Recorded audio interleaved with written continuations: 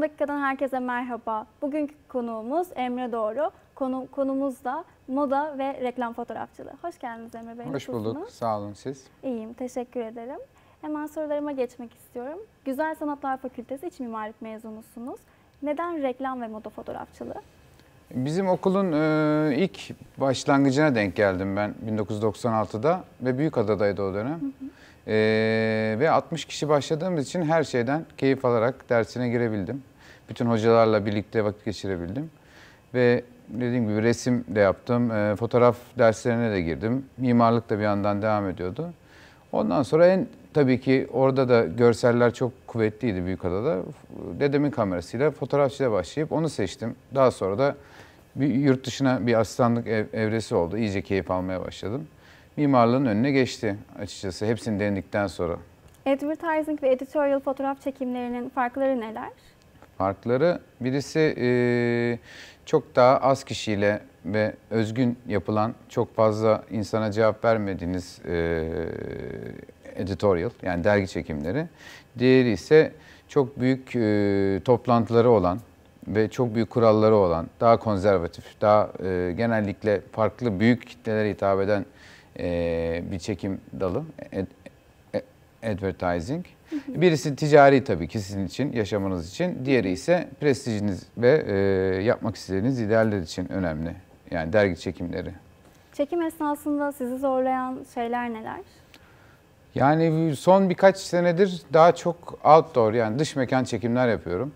Ee, bu benim kitabımla da bağlantılı.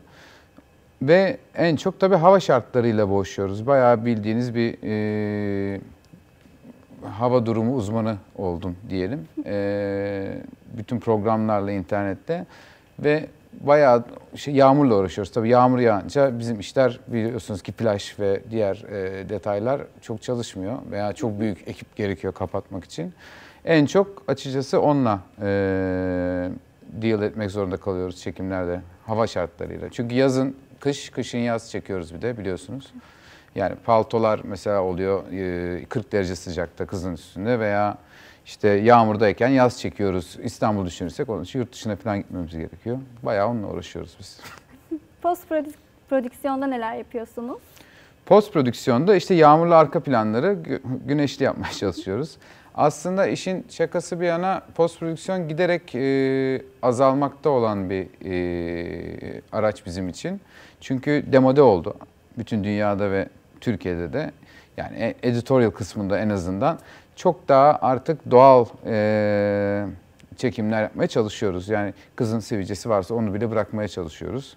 Ve insanların algısı da biraz bu yönde e, gelişiyor. Daha hoşlarına gidiyor. Yani e, belli bir göz e, seviyesine ulaştıktan sonra doğallık çok daha hoşlarına gidiyor. Onun için daha zor olanı daha az Photoshop e, yapmayı seçiyoruz. Hakikaten daha zor bir şey o yani. Onun için çok iyi çekmeniz lazım veya e, nerede neyi bırakacağınızı bilmeniz lazım. Çalışma saatlerinizin yoğunluğu nasıl peki? Çalışma saatlerim e, diye bir şey yok bizde. Bazen iki hafta bomboş e, yeni projemizde çalışıyoruz. Bazen her gün çekim oluyor. Onun için genellikle e, çekimim varsa ona çalışıyorum. Yok yani yüzde 60-70 e, çekim için uğraşıyoruz. Geri kalan zamanlarda da hobimiz, kitabımız, e, resim gibi işlerle uğraşıyoruz. Hem özel hayatınızda hem de fotoğrafçılıkta sizi besleyen şeyler neler? Dediğim gibi en çok e, yaptığım şey vakit oldukça yol hikayeleri yapmak. E, işte arabayla, motorla veya e, herhangi bir uçağa atlayıp orada kiralayarak. Bunlar beni çok besliyor birinci dereceden. Mesela e, çeşitli görmediğim yerlere gitmek e, ve bunun geri dönüşünü de çok hızlı alıyorum. Hemen bir çekim olarak da aynı yerlere gidiyorum. E, keşfettikten sonra büyük bir markayı götürebiliyorum veya atıyorum bir iyi bir dergiyi götürebiliyorum. Benim için en önemli şey gezmek, sürekli gezip görmek. Çünkü dediğim gibi hep outdoor çekim yapmaya başladım artık. Stüdyodan e, biraz uzaklaşıyorum. E, iki, resim yapıyorum vakit, vakit buldukça. Tabii ki çok besliyor beni. Daha da tanıyorum e, insan anatomisini. E, üç çeşitli spor dalları ama genellikle hep gezmek üzerine spor dalları. Yani motocross yapıyorum, e, motosiklet sporu yapıyorum. İşte onun haricinde dediğim gibi en en önemlisi yol bizim için. Sizce fotoğraf makineleri bir araç mı? Ee, kesinlikle evet. Eskiden çok daha fetişti bu iş. Ee, yani bu filmli makineler varken ama şu an tamamen bütün e, cazibesini kaybetti makinelerin tasarımı. Onun için yani bizim hala 90 öncesi kameralar evimizde saklanıyor.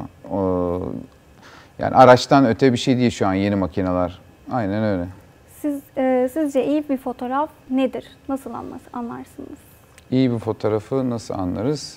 Ee, bu çok görecelidir. Artık e, bence bunu anlarız diyemeyiz. Yani sizin için güzel olan benim için iyi olmak zorunda değildir. Ama çoğunluğa hitap edebilirsiniz.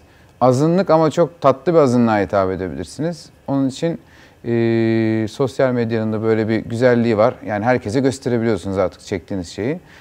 İyi fotoğraf diye bir şey gerçekten yoktur. Birazcık doğru çok az bir kuralı olsa yeterli. Eskisi gibi değil. Yani o Richard Avedon'lar bildiğiniz o eski e, şu anda da çok aktif Peter Lindbergh'lerin fotoğraf dünyası çok güzeldi, çok doğruydu. Şimdi onlara artık yeni dönemde pek ihtiyaç kalmadı.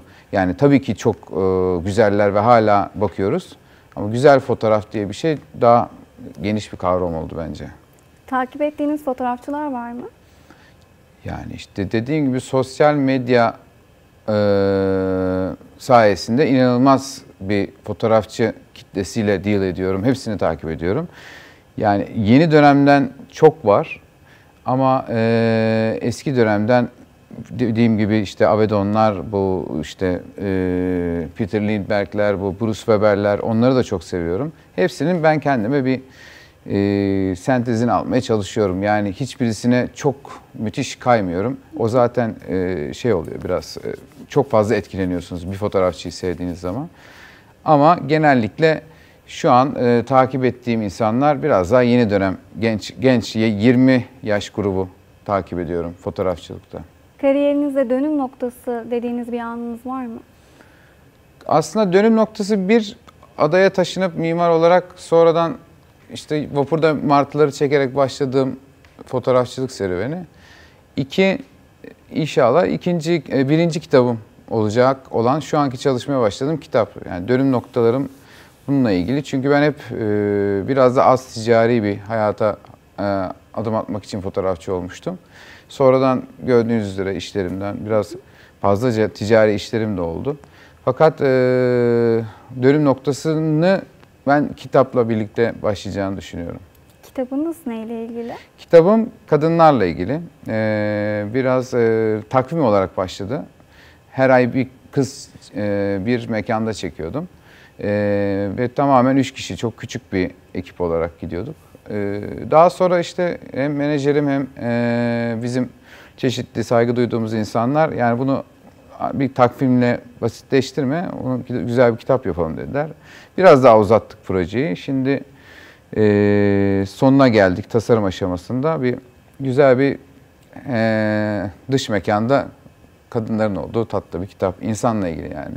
Ben şunu çok merak ediyorum. Eğer fotoğrafçı olmasaydınız iç mimarlıktan mı devam ederdiniz? Yoksa başka bir meslek dalına mı geçerdiniz? İyi ki olmamışım. Yani mimarlığa karşı inanılmaz bir e, isteğim olmuştu zamanında. Fakat hayır, ben resmi tercih edebilirdim.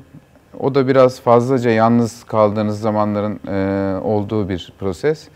Ya da çok iyi bir garaj sahibi olmak isterdim. Benim araba tutkum çok e, yoğun. Mesela hem e, arabaların satıldığı çok özel arabaların hem de e, işte bir kafe gibi olan bir yere sahip olmak isteyebilirdim. Aynı zamanda resim de yapabilirdim ama yani.